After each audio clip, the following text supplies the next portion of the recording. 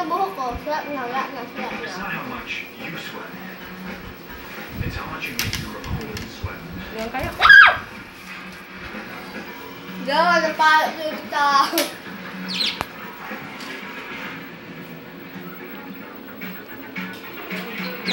Fluids to rehydrate, electrolytes to replenish, carbs to activate. For those